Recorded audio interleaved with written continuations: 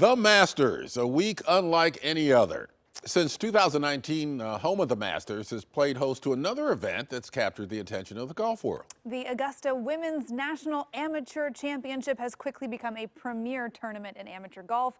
Travis Tite caught up with a local star competing in the tournament, Ellie Slama. So she's uh, in Augusta now, but you got to, to chat with her before she went. I did. The South Salem native and the Oregon State senior is a very, very rare talent. I actually played nine holes with Ellie before she made her third and likely final trip down Magnolia Lane for, yes, the Augusta National Women's Am.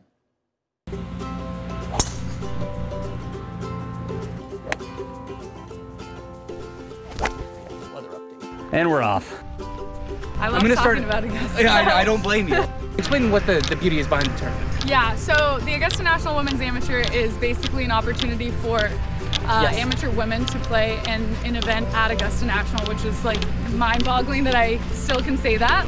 And it's just an opportunity basically to play a course that you know you're not ever really gonna think that you would be able to play. It's just something you see on TV all the time with the Masters. It's really cool that we have the opportunity to play it and to like experience it with our family and our friends and you know all of our like other golf friends. So it'll be cool. Yeah. This tournament honestly is like, it means so much to me. It's probably my favorite tournament I've ever played in. And I think a lot of girls can say that. Um, it's so amazing to bring your whole family and just have that environment of Augusta National and to be able to walk the fairways and play the course and hit all those famous like shots that you see on TV and that I've grown up watching for years.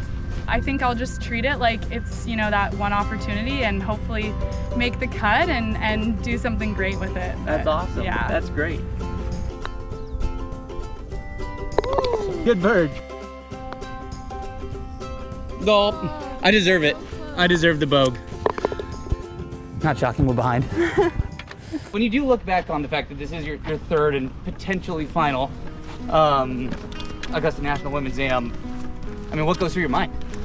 Yeah, I think it's mostly excitement and just like just thankful that I've had this opportunity three times Yeah. and that I mean it's such a cool experience and such a fun time to be a golfer and a woman in golf. Mm. And so I think I'm just really fortunate to be able to say that I've gone twice and I'm going a third time. I'm just gonna look at it as kind of like that once in a lifetime opportunity that I've been lucky enough to have three times.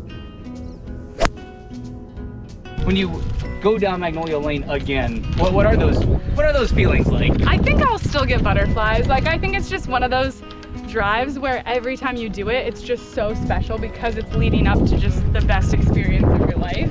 No matter how many times you've done it, it's still just like incredible and you just are speechless, I think.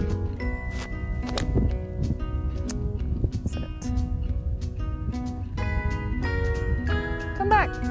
Oh, there it is, pin high. Yeah, Good shot. thank you. I expect nothing less. What's your goal when you get to Augusta?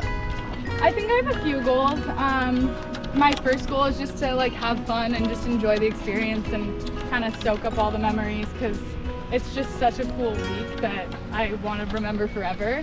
Um, another one of my goals is to make the cut this year. So that's I think that's probably like the the outcome goal that I would say. And then I would say my third goal is just to like pretty much do everything in my control. Like there's obviously going to be parts and pieces of it that I can't do much about, like Sure. bad bounces and all that, but just to kind of like step up to every shot and be completely like committed and and uh, yeah, do everything in my control, I guess. Oh, he's healed Oh it. no! Later. That's, That's not good for. TV. You'll have you'll have a fun shot. from That'll be, that'll be great. I almost missed the whole club.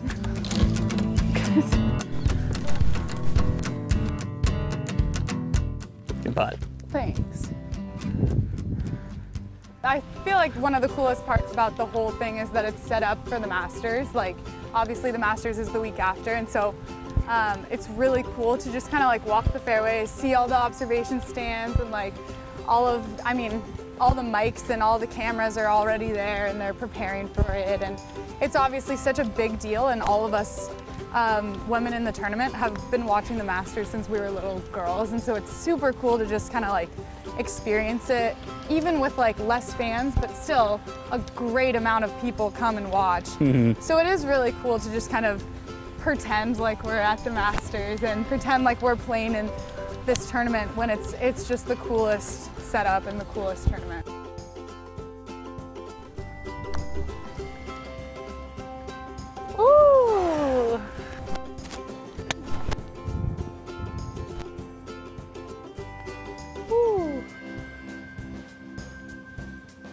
What has that tournament meant for not just women's golf, but maybe more specifically women's amateur golf?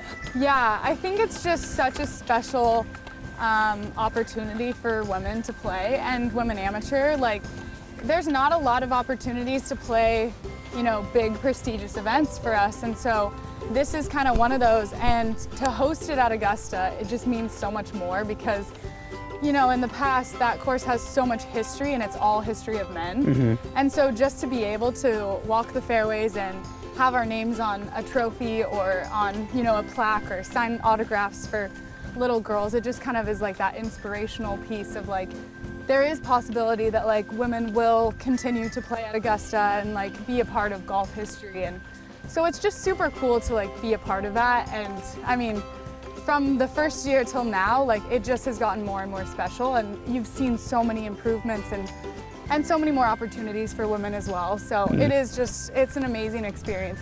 That golf ball's gone. Well, oh, So close. I would say that's that's that's my part today. Now we're on now that was a great Good time. That Thank so you. That was a ton of fun. Good luck at Augusta. Thank you. Yes, I'm we'll excited. You should be. Pretty fun. Very grateful to Ellie for uh, taking the time last week to be able to do that. Now, some other big news for Ellie. She actually did reveal later that she is, in fact, going to turn professional after she wraps up her college career this year. So, congrats to her. A very bright future ahead. Cannot wait to see what the rest of this week and her career have in store. She's a fun one to root for.